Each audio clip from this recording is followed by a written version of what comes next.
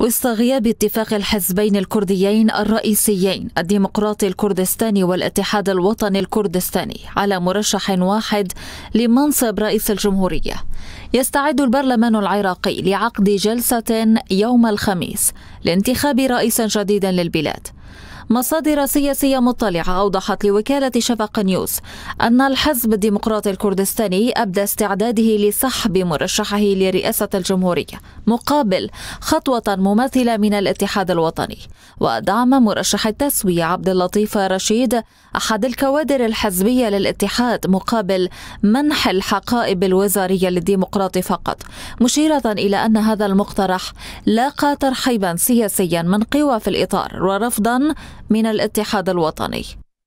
المصادر أكدت أن الاتحاد الوطني ما يزال يصر على مرشحه لرئاسة الجمهورية برهم صالح الذي يلاقي رفضا من بعض قوى الإطار منوهة إلى أن قادة في الإطار يمارسون ضغوطا كبيرة على رئيس الاتحاد بافل طالباني بشأن ذلك.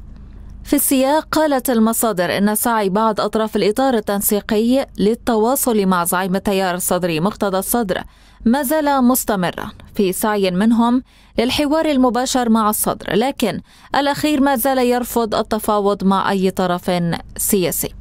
وبينت المصادر أن بعض أطراف الإطار التنسيقي أوصلت رسائل إلى الصدر بأنها مستعدة لتغيير مرشح رئاسة الوزراء محمد شيع السوداني بأي مرشح يحظى بموافقة التيار مؤكدة أن الصدر رفض الرد على هذه المقترحات وأن موقفه من جلسة انتخاب رئيس الجمهورية ما زال غامضا.